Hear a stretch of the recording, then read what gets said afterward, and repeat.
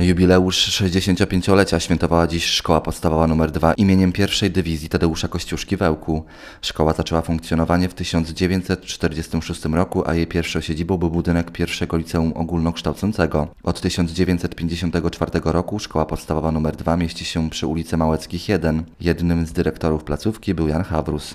Funkcję objął w 1971 roku i zarządzał szkołą przez ponad 20 lat. Widać wiele pozytywnych zmian w obecnej szkole, mówi Jan Hawrus, były dyrektor placówki. Tu zaczynałem po studiach, no i tutaj stąd odszedłem na emeryturę. Ja jeszcze wszedłem do bardzo starej, wyjątkowo takiej starej szkoły z pylochronem na podłodze. No teraz, jeżeli tam się obejdzie i popatrzy, to tę różnicę widać wyraźnie, widać wyraźnie. Z tym, że mm, ja z sentymentem wspominam właśnie te lata, kiedy ja pracowałem z tą młodzieżą, z, tą, z tymi nauczycielami. Widzimy tutaj dobrą pracę, widzimy chęć y, jakoś dotrzymania kroku, chęci, żeby szkoła się jakoś tam była znacząca w mieście. Mury szkoły opuściło dotychczas ponad 8 tysięcy absolwentów. Są wśród nich m.in. prezydent Ełku Tomasz Andrukiewicz, poseł elekt Tomasz Makowski i wójt gminy Ełk Antoni Polkowski.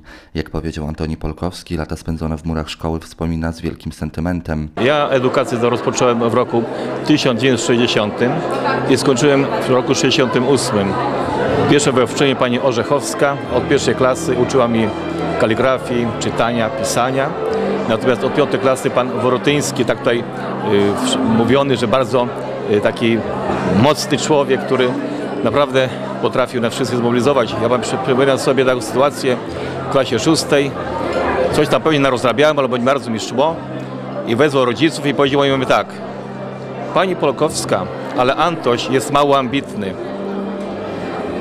To słowa pana Wortyńskiego. Zobaczcie Państwo, wszystkie szkoły wyższe, jakie kończyłem, ukończyłem z oceną bardzo dobrą. Prawda? Bo to wielka mobilizacja. Szkołę wspominam wspaniale. Szkoła podstawowa nr 2 przystąpiła do wielu projektów, takich jak Szkoła Promująca Zdrowie, Szkoła z Klasą czy Szkoła Marzeń. Obecnie dyrektorem dwójki jest Małgorzata Kopiczko.